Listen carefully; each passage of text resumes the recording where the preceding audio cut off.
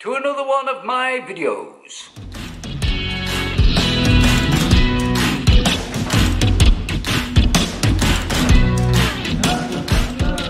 This is going to be a short video of my new project which is the Steel Weasel Airbox.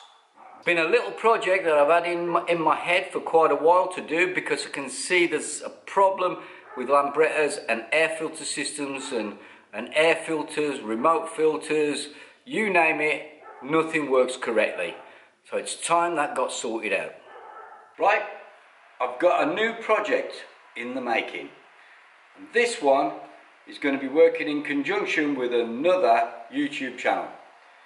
A YouTube channel that specialises in CAD design on 3, Fusion 360 and uh, we're looking at 3D printer work. I've been working on air filter shapes and air filter designs now for a while, mainly in my head.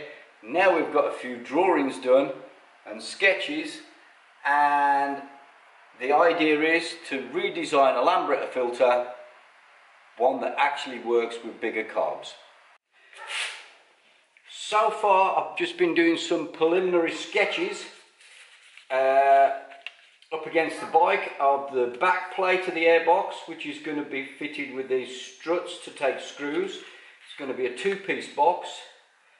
The air intake will be at the rear uh, it's going to have a cutaway here. This was uh, thought about. This will be cut away here and flowed over the flywheel. This section will be removed. We'll come across that. We did think about having an option for uh, an, an optional hose from the top, but I decided against that. So the airbox is going to be basically this size with the trumpet coming towards the rear of the bike to get fresh air, as much fresh air in as possible and that's our kind of design. We took a few measurements and now it's going on to uh, the 3D process uh, on Fusion 360 and that you'll be watching this weekend.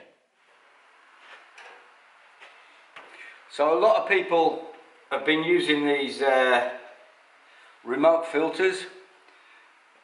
This one, this design with the wider bellows here is probably one of the be best of the bunch, but it still has problems on hot starts where it tends to flood the engine because you always, always get a build-up of fuel on the walls of the rubber inside this. And that means when the engine's hot, it doesn't want to restart.